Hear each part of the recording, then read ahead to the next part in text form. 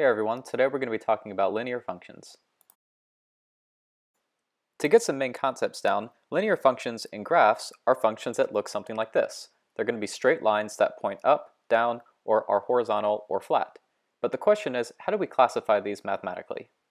Remember that when you graph a function, you have your x-axis, which represents your input, then you have your y-axis, which will represent your respective outputs. So linear functions really just have the goal of classifying different rates of growth, decline, or steadiness. So such functions actually do have major application in a lot of areas. But anyway, I digress. To start classifying lines, we realize that lines have two main parts. The first part is called the slope, and the slope is going to be the steepness of a graph, which will be accompanied by a numeric value.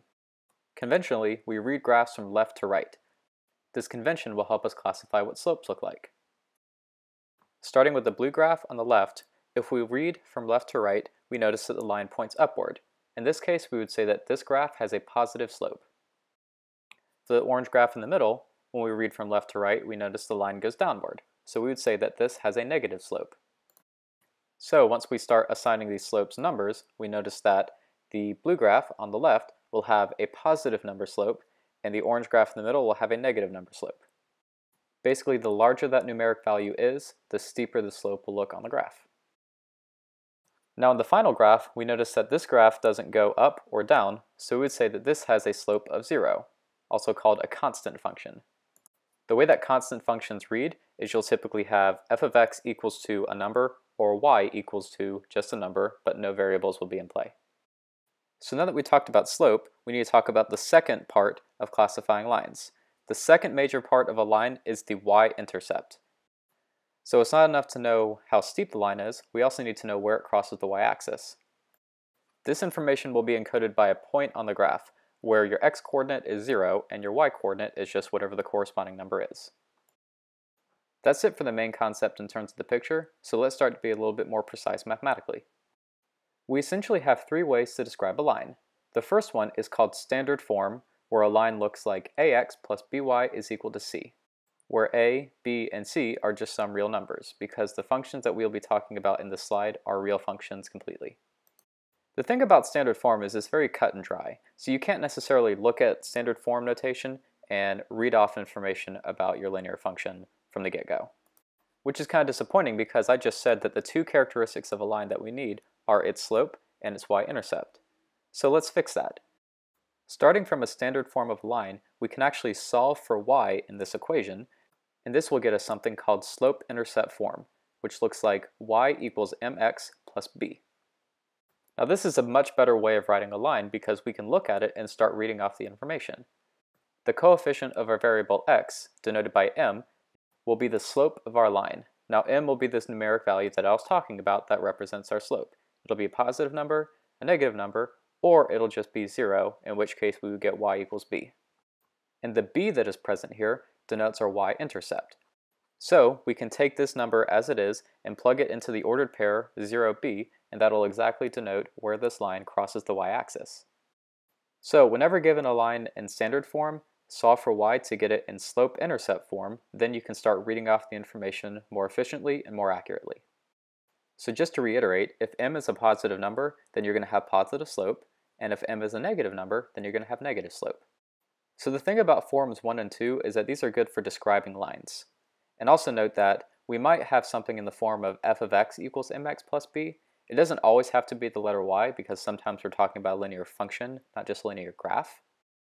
But f of x equals mx plus b means the same thing as y equals mx plus b. It's all just a matter of notation. So the idea is that we would be able to be given a line in the form 1 or 2 and then read off information from that. However, there are situations where we might have to build lines from scratch. If we're building a line, we need two pieces of information. We need its slope, and we just need a point on the xy plane that the graph goes through. Once we have that information, we can plug that into something called point slope form, which looks like y minus y1 equals m times x minus x1. Here, m still denotes your slope, but the point x1, y1 will be just some point that our line has to go through. So like I said, point slope form is good for building lines, where standard form and slope intercept form are good for reading off information about lines. Let's go ahead and jump into some problems. For our first example, we're going to graph the line in standard form, negative 4x plus 2y equals to 4. Now like I said, the first thing to do here is to solve for y and to get it in point slope form. If we do that, we get that y is equal to 2x plus 2. XY charts are good for graphing, so I'm going to try to get the points at x equals negative 1, x equals 0, and x equals 1, and then I'll just play a game of connect the dots. Choosing x equals 0 as a point to evaluate our function at is good because it'll tell us our y-intercept. As I evaluate our functions at these points, I'll get that evaluation at negative 1 gives me 0, evaluation at 0 gives me 2, and evaluation of 1 gives me 4. So reading off the points that this chart tells me, I have the point negative 1, 0, 0, 2, and 1, 4. And once I graph those, all I have to do is draw a line in between all of them that connects them, and then you're done. So there you have it. This is what the graph of y equals 2x plus 2 looks like. We have a slope of positive 2, so our graph goes upward, and we have a y-intercept of positive 2, so I'm crossing the y-axis at the point positive 2. And that's all there is to it. For our next example, we're going to build a line. We're going to find a line that passes through the points negative 2, 1 and 1, negative 2. So like I said before, we need two pieces of information when we're building a line. We need a slope and we need a point it goes through. But here we have two points. So the question is, what do we do? Well, there's actually a known way of finding the slope that exists between two points on the xy chart. It's called the slope formula, and it looks like y2 minus y1 over x2 minus x1. The y1, y2, x1, x2 come from labeling the points that we've been given. It doesn't matter how we label these as long as we're consistent throughout our whole process. So I'm going to call the point negative 2, 1, x1, y1, and I'm going to call the point 1, negative 2, x2, y2. Now that I've chosen a labeling, I can go ahead and start plugging this information into my formula. Once I go through the operations and simplify, I get an answer of negative 1, which I'll denote by m, because that is the slope between negative 2, 1 and 1, negative 2. So this is good. I have a slope to work with, and I have two points that my line passes through. So I just pick any of these points that I want, and I'm going to choose negative 1, 2 to put into our point slope form. When we're done with this, as an exercise, try plugging in the point 1, negative 2 to see that you'll get the same line. As I input my information, I get y minus positive 1 equals negative 1 times the quantity x minus negative 2. All that's left to do here is simplify to solve for y, which gives me a line of y equals negative x minus 1. And I'll say again, plug in the point 1, negative 2 into point slope form with the slope negative 1 to see that you will get the same line. But overall, that's the basic recipe for building a line that goes to two points. You first find the slope between those two points by use of the slope formula, and then you plug that information into the point slope form by choosing one of the points that you've been given. For our second to last example, we'll talk about parallel versus perpendicular lines.